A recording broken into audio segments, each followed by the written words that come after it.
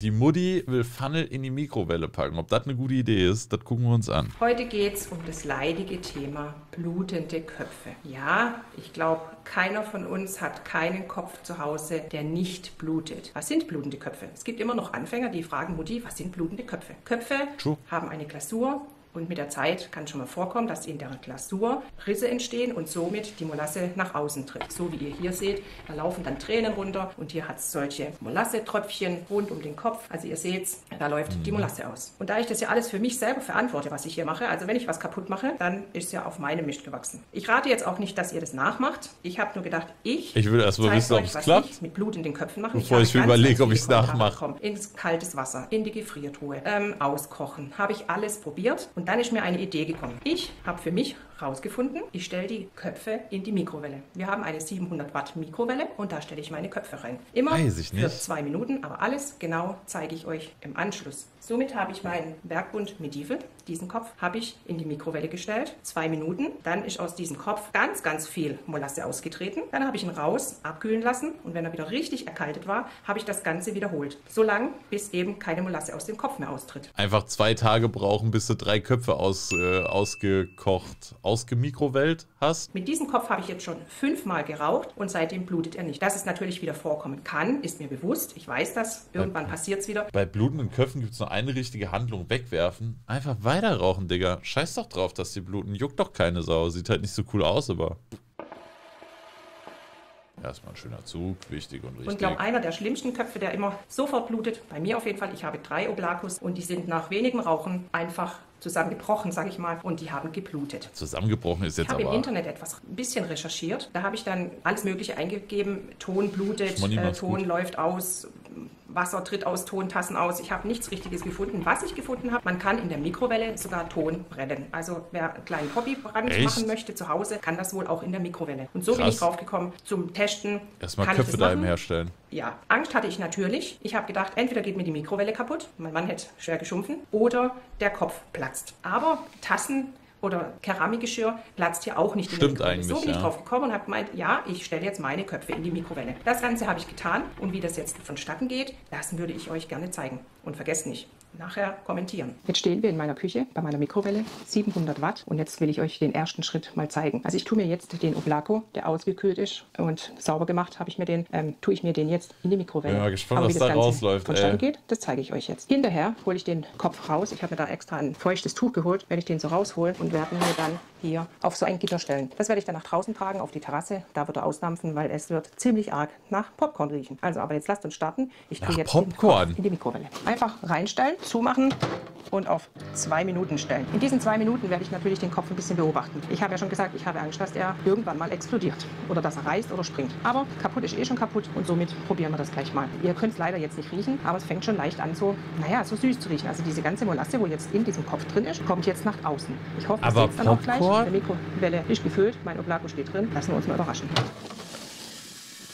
Boah, Hört ihr es, wie es dampft und zischt? krass. Und das ist jetzt nur nach einer Minute. Minute. Alter. So sieht er jetzt schon aus. Tropft und quillt aus allen Poren, quillt jetzt die Molasse raus. Junge, was Schade, kommt da alles raus, so Digga? hin, aber ich hoffe, ihr seht's. Jetzt kommt da noch eine Minute rein und dann werden wir ihn rausholen. Hinterher die Mikrowelle reinige ich mit Glasreiniger. Das neutralisiert noch den Geruch ein bisschen in der Mikrowelle. Schaut mal, das ist die Molasse.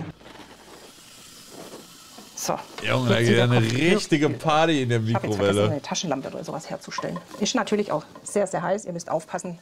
Deswegen nehme ich mir einen Oh, Digga, Das tropft das da er jetzt weg. aussieht. Ich hoffe, ihr seht alles voll mit Molasse. Ah, der tropft. Jetzt stelle ich mir das Ganze raus, lasse es abkühlen. Ich tue ihn jetzt auch noch nicht abwaschen. Ich mache das erst, wenn er abgekühlt ist. Und die Sauerei hier, ihr seht Boah, alles krass. Molasse. Ugh. So steht er jetzt auf meiner Terrasse und darf erstmal in Ruhe auskühlen. Der Kopf ist jetzt das erste Mal in der Mikrowelle gewesen. Er ist komplett erkaltet. Haben abgewaschen mit einem Tuch. Schaut mal, was Ich weiß da auch nicht, warum sie nichts runterstellen. Ich habe mir auch schon gedacht, dass das doch ein bisschen schlauer wäre, wenn man ihn einfach auf Zebra stellen würde, oder? Aber jetzt muss er ein zweites Mal in die Oder eine Mikrowelle. Schüssel und da oder so wenigstens. Marc hat getrackt. Ich hatte einen 1-Euro-Kopf mit 170 Gramm. Nach 30 Köpfen hatte der 200 Gramm. Nach dreimal Mikrowelle hatte er wieder nur noch 175 Gramm. Krass. Oh, deutlich Und weniger schon? als vorher schon. Wird das Bluten weniger. Es kann jetzt auch sein, dass ich noch eine Minute erhöhen muss, um das auch richtig alles rauszupressen. Dann kommt er nochmal auf die Terrasse. Ihr habt's Digga, morgen kommen erst mal alle meine Köpfe in die Mikrowelle, Junge. Let's go! Und wenn keine Molasse mehr kommt, mache ich es noch ein einziges Mal. Und dann kommt der Wasserdampf. Alles, was noch an Feuchtigkeit drin ist, dampft nochmal so richtig schön aus. Und dann auskühlen lassen. Und los geht's. Ich bin gespannt. Hey Junge, einfach neue Meter, ja. Digga. Sache zwei Minuten. Essen ist fertig. Ach nee, ist So, nur ihr schaut, Blanco. ich habe jetzt meine Taschenlampe hergetan, weil Äh. ich habe es halt einfach nicht so mit meinem Equipment. Aber jetzt ist er nur noch leicht blutend. Also ihr habt es am ersten Mal gesehen, dass er wirklich stark ausgeblutet hat. Und jetzt schaut mal das Ergebnis. Leuchte euch mal mit der Kamera.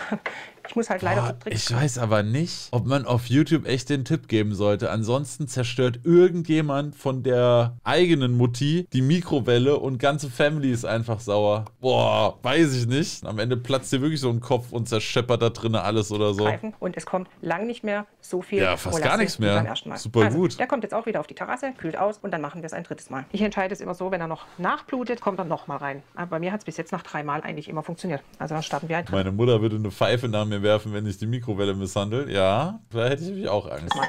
Zwei Minuten und los geht's. Aber ich frage mich, könnte man nicht einmal fünf Minuten machen oder so? Also viel passiert ja beim zweiten und dritten Mal nicht mehr, oder? Schauen wir mal, wie er aussieht.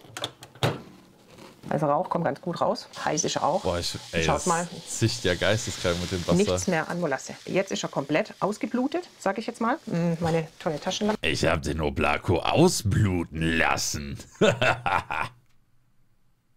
Schaut mal, Krass. es ist jetzt keine Molasse mehr Ja. Ich muss mich jetzt Tropfen beeilen, mehr. weil der ist nämlich ganz schön heiß ist. Hey, also, echt so würde ich jetzt nochmal rausstellen. Tanja hätte wirklich vorher wiegen Ähm, müssen. nochmal auskühlen lassen und dann lasse ich ihn so zwei, drei Tage wirklich komplett in Ruhe und dann würde ich sagen, rauchen wir ihn zusammen. Nachdem der Kopf jetzt drei andere Mal in der Mikrowelle war, habe ich ihn auf der Terrasse komplett auskühlen lassen. Da habe ich ihn auch die ganze Nacht stehen gehabt. Ja, Stefan, Zwei Tage noch auf dem, unserem Pelletofen nochmal richtig schön zur Ruhe kommen lassen, habe ich ihn heute geraucht. Also es dauert dann schon ein bisschen, bis man den auch ähm, so verwöhnt hat und ausbluten hat lassen. Ich rauche den Ja, jetzt schon eine ungefähr eine Aktion, ne? Dreiviertelstunde und wie ihr gesehen habt, bis jetzt blutet er nicht. War für mich zu erwarten, weil bis jetzt habe ich es ja mit dem Werkbund Medieval und mit dem Werkbund Zeus habe ich so gemacht. Mein Ergebnis bis jetzt, kein Bluten. Also ihr seht, alles frei. Wie lang es natürlich anhält, das kann ich euch nicht versprechen. Das ist eine gute Ich finde auch Frage. diesen, diesen Hals hier ähm, ist etwas säuberer geworden. Da auch da ist die Molasse ja ausgetreten. Ihr habt es ja gesehen. Und was man aufpassen muss, ich habe mir auch noch eine Brandblase ge Ah, zugezogen, perfekt. Ähm, als ich ja den Kopf raus habe und habe den äh, gehalten und die heiße Molasse ist draufgekommen. Also da müsst ihr ein bisschen aufpassen. Ei. Ob ihr das jetzt natürlich auch so machen wollt oder nicht, das überlasse ich natürlich euch. Für mich, ich werde es weiterhin so machen. Ich habe für mich das beste Ergebnis somit rausgefunden. Die Köpfe mal stoppen. Wenn es wieder anfängt, stecke ich sie wieder in die Mikrowelle. Einfach dieser andere Lifehack von der Mutti. Aber ob ich das ausprobiere, ich weiß es nicht. Aber wilder Trick.